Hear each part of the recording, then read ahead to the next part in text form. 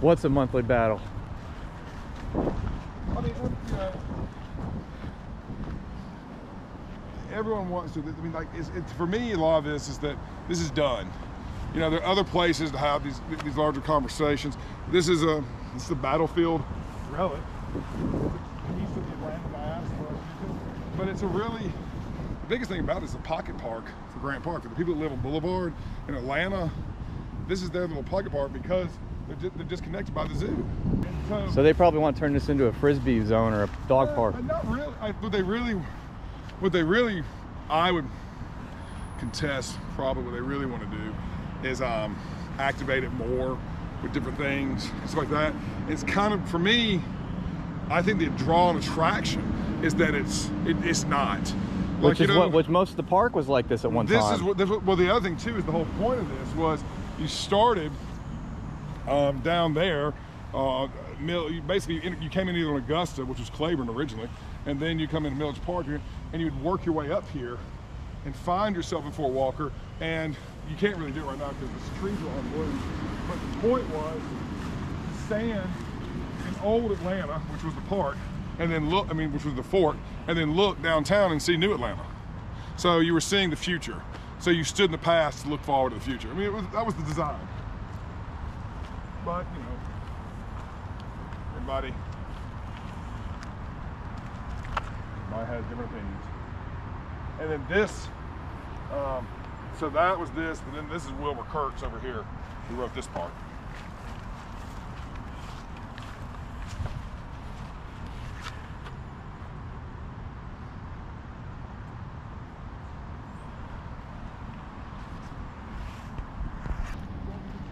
Walk this way around and I'll meet you on the other side.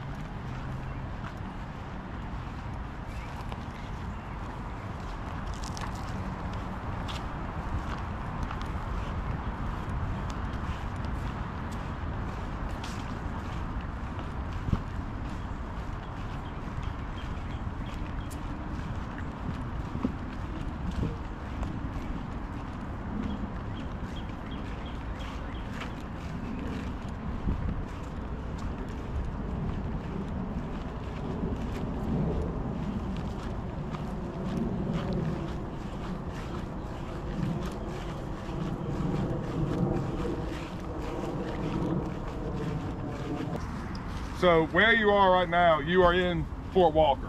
So this is, if you will, the top end of Grant Park. And one of the biggest things with San Buenos preservation, the reason it's still here is because Boulevard is right over there and the lands are there. So this fell, if you will, within the confines of the park.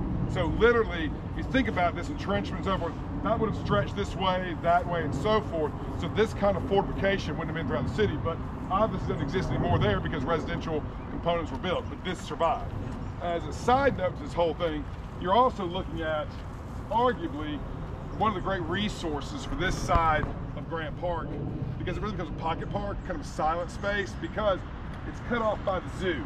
So the zoo kind of makes this little piece cut off. So if you look at it, due to a, a less active space, it's really enjoyed. Like you just saw the guys ride their bikes and so forth.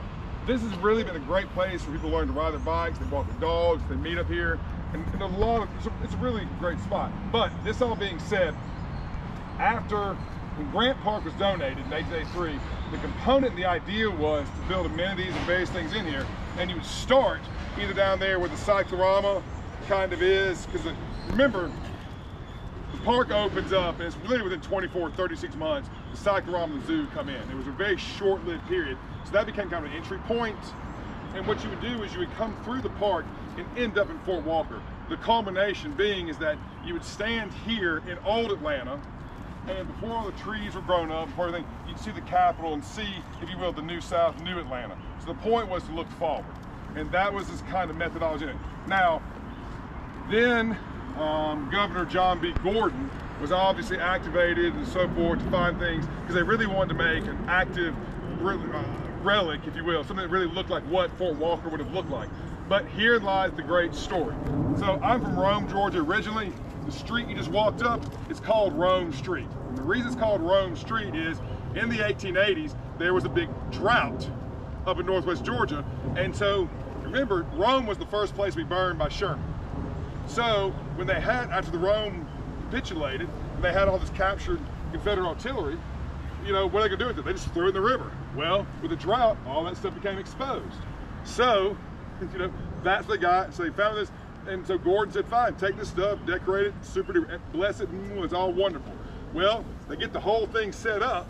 It's all set up, everything's great. They come up here to have the dignitaries to open the whole thing up. Everybody starts gasping. The GMI guns, the Georgia Military Institute guns, two that have been missing, everybody wondered what happened to them. They were right there. That's they were. So now, if you go to the Capitol and you go to the side where the Gordon equestrian statue is, and you go to that entrance on Washington Street, those two guns, those are GMI guns that were in the Etowah River base that were right there, they're now there. Then, when the cyclorama Hey, let me stop. So, so for about 50 years, there were a bunch of cannons out here, right? Yes, there were casings, cannons, all kinds of stuff. At one point in time, there was a water tower here, playground here. This went through all kinds of transitions. Also, the Arkansas gun, so the Arkansas Military Institute gun was up here as well, which is now the History Center. And that was a big coup de grace thing. And there's actually paperwork goes, and the, the, the uh, commanding officer of that division that gave up that gun here at the Battle of Atlanta lamented leaving that gun behind more than did the soldiers that died. So that he'd been that gun had done more for him than the soldier. I mean, he really wrote this kind of almost like you know, my God, my God, we had to leave the gun. Do you know what I mean? So you, get this. So what happened when I moved to Grant Park and this kind of stuff? Fort Walker was not uh, desolate. There was a lot of weird '70s funk carryover. Meaning you had like a little house the prairie, fence out front. The the bullion, the, the, the entrance to it was kind of poo-pooey. Um, it was on a marker post. It was all bent up, whatever it is. So systematically, I worked with the State Historic Preservation Office, got a new marker post for it. Um, we worked with the city, fixed up a lot of stuff for the entrance to go in here.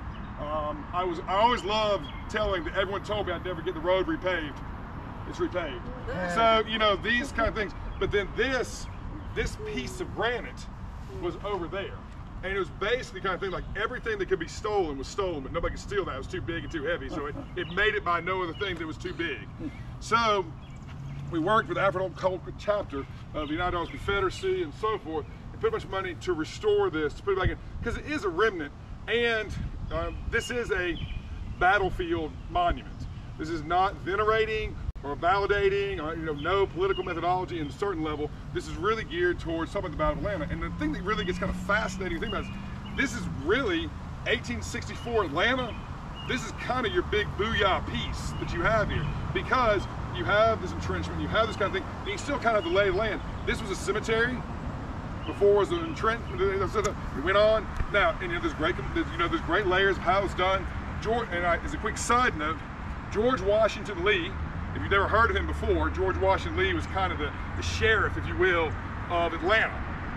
And so he would have wanted to use both enslaved labor and conscript labor, would have built fortifications like this. He would have been a big contributor. But a real quick side note of George Washington Lee, going back to Rome, Georgia again, when Atlanta fell, as they were going to Milledgeville, George Washington Lee, because the, you know, Governor Brown, everybody's losing their mind, like, oh God, they're coming, they're coming. It was Lee that went there. You see, the, you know, remember the great scene, The Godfather, like, be a man, be a man. Lee's the one that went nuts and said, stop it. And he got all of our archives and records, put them on a train and sent them to Augusta. And that's why all of our history is at the Georgia Archives and not in Washington, D.C. George Washington Lee went on to die in Rome, Georgia, buried an unmarked grave. And so we put a headstone in where he, all these guys are, and they're there. So Bob Davis was putting out a new book, so it's a big plug for Bob right now on the whole thing of this guy. He's a real, he's a real weird, arguably the first guy to enlist the Confederacy, went to Pensacola, thought that, because everybody thought he was gonna be Charleston, Pensacola. He's in Pensacola, didn't happen. Soon starts happening Charleston, beelines over there, the whole thing. So it's a real cool thing. This really encompasses a lot of that diaspora to discuss so much Atlanta because you think about it, you don't have a segregated park. You have a space that everybody's accessing it.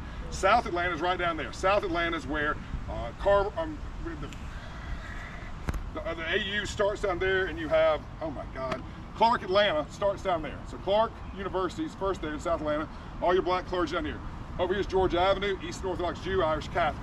Capitol Avenue, old, old Jewish, old white kind of crowd, different thing. All this kind of stuff. So this park encompasses a lot of that it's it's always going to be complex. People are always going to have opinions. They're always going to stuff. But the great thing about it is the challenge of conversations. Edward R. Murrow said is what brings out the best in people. And so having this here, having this space here, is fabulous. The, the last thing I'll say to you about it, and to be conscript time, The biggest thing, you will see if you come here randomly throughout the depth of the summer, this is used by everybody. It's a real kind of tongue-in-cheek way of saying you can complain all you want, but all these people seem to be real happy. And it'd be a fascinating thing how many families and people you see in here. And this spot right here, because this tree-lined road exists right here, and we used to have big sassafras here. You see another one's growing out now. But all this kind of stuff, this is lined up people, little grills cooking out. Of course, they're supposed to not do that, but they do it anyway. Little small things, but you just see people. Unfortunately, they're all happy.